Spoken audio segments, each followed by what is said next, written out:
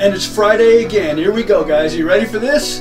How about going back a long ways to the early 80s to the album Escape by a band called Journey and to the number one hit that we all still love Don't Stop Believing. He took the midnight